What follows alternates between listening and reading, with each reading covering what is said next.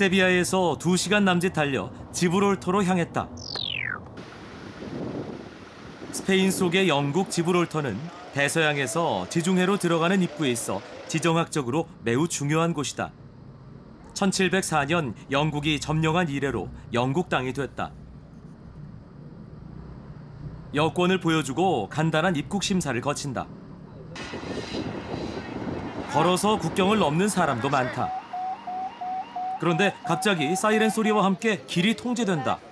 알고 봤더니 우리가 비행기 활주로를 건너고 있었던 것. 땅이 좁은 지브롤터의 활주로는 여기밖에 없다고 한다. 하루에도 몇 차례 영국 본토를 오가는 비행기가 뜰 때마다 잠시 멈춰야 한다.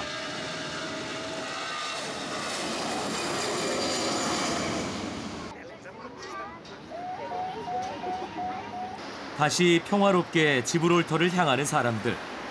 누군가에겐 출근길이고 누군가에겐 설레는 여행길이다.